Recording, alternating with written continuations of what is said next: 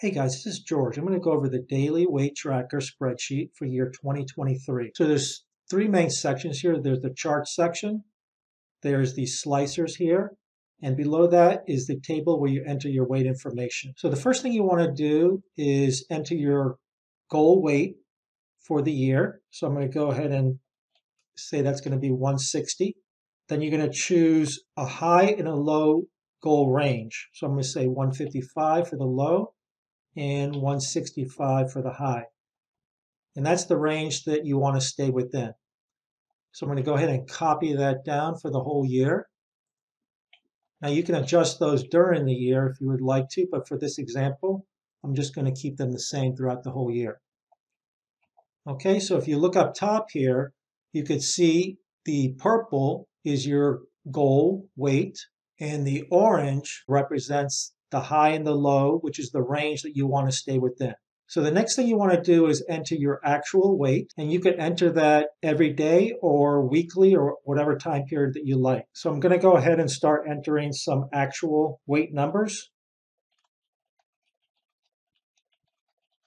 And you can see that these are color coded. So this cell here is light blue, which is your actual weight and that matches this line here for your actual weight in the chart. So I'm going to go ahead and go to a completed one with the actual weight fully filled in.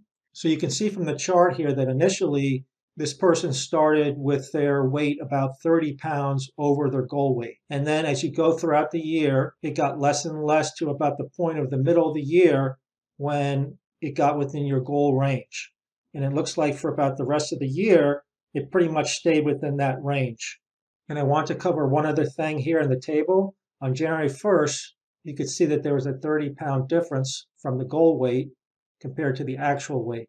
So it's going to put a red X mark in that particular date. And it looks like to find about here in June. So if we scroll down to June, here about June 11th, you could see that the actual weight is 165 and that's within your goal range. So it's going to put a green check mark there. And the other thing I want to cover is let's say that you want to zoom into a particular time. So for example, June, you want to see that in closer detail. So you could come over here to these slicers and click a particular month. And there you could see on June, and that was 11th. So June 11th right here, you could see that it was 165. It looks like we kind of were right at the top of the range for most of that month.